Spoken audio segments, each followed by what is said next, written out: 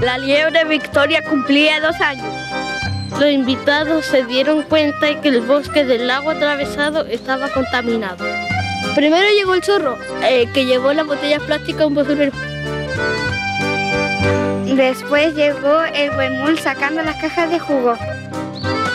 El piche separó las hojas secas para evitar incendios. El gato sacó las colillas de cigarro. El perro limpiaba la vertiente. El puma juntó toda la basura. El cóndor llevó toda la basura con sus garras y las dejó en un camión tolva. Al estar todo limpio, los amigos del bosque empezaron a jugar a la escondida. Mientras tanto, los cazadores eh, colocaban trampa para los animales.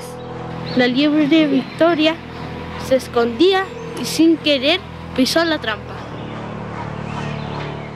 Con los ojos hábiles que tiene el cóndor vio que a Victoria le metían en una bolsa transparente.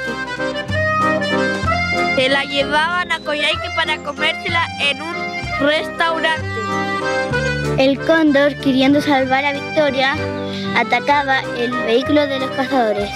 Pero no lo logró, así que el cóndor fue a donde sus amigos para, para ir a salvar a Victoria. Todos los amigos fueron a buscar a la ciudad a Victoria. Cuando llegaron al restaurante, vieron que a, a Victoria la estaban metiendo en una olla. El gato rascuñó al cocinero, quien se distrajo. Pero su amigo el cóndor la rescató llevándola de nuevo al bosque.